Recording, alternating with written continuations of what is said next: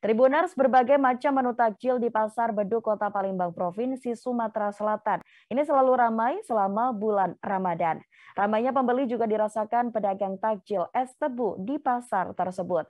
Ia mengaku merasa besar penghasilan di sini daripada di Pasar Cinde, tempat ia berjualan seperti hari-hari biasanya.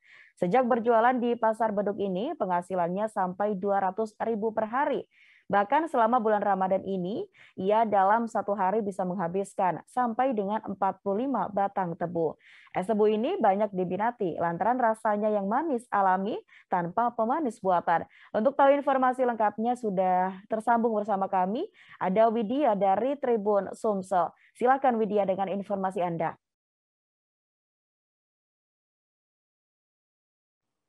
Baik, terima kasih rekan Mufti. Saya di sini mau melaporkan pada pedagang es tebu yang berada di Pasar Beduk Ramadan di Simpang Polda Sumatera Selatan. Itu ya penghasilannya lebih besar daripada tempat dia berjualan sehari-harinya. Karena pada penjualan dia sehari-harinya itu di Pasar Cinde Kota Palembang itu bisa penghasilannya mencapai 100 ribu perharinya. Akan tetapi untuk semenjak ia berjualan di Pasar Beduk Simpang Polda Sumatera Selatan itu penghasilannya lumayan lebih besar daripada hari biasanya, yaitu sebesar 200 ribu per harinya.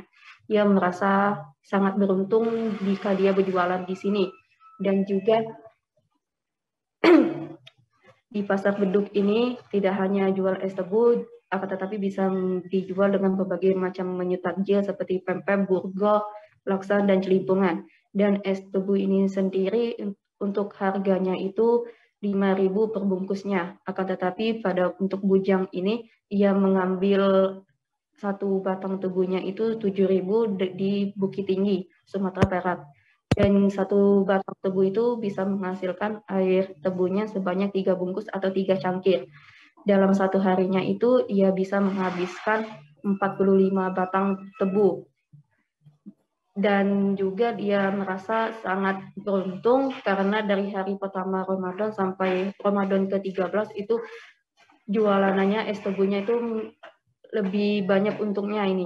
Dan juga di dalam pantauan itu terdapat banyak orang yang beli berbondong-bondong untuk beli es tebu milik Pak Bujang ini karena milik Pak Bujang ini es tebunya merasa tidak ada bahan tambahan seperti gula. Baik, terima kasih Mufti.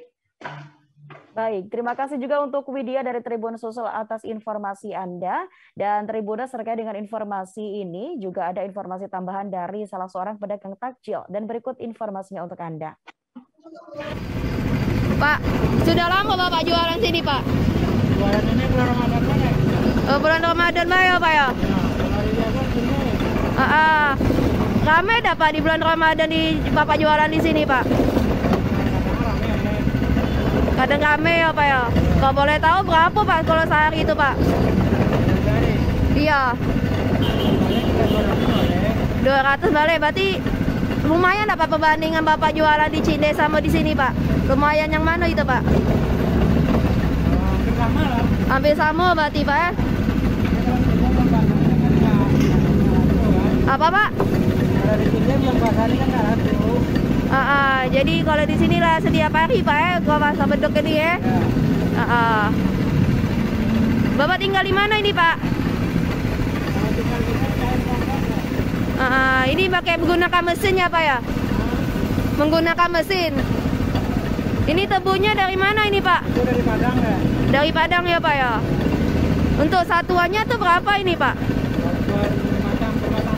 Iya, Tujuh ribu. 7000 Untuk Bapak jual satu bungkus itu berapa Pak? Lima ribu. 5000 ya Pak, pakai batu es ya Pak.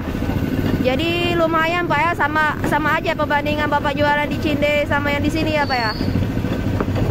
Sama ya Pak ya, dengan penghasilannya 200 ya Pak ya. Nah ya. Kasih Pak. Terima kasih sudah nonton. Jangan lupa like, subscribe, dan share ya.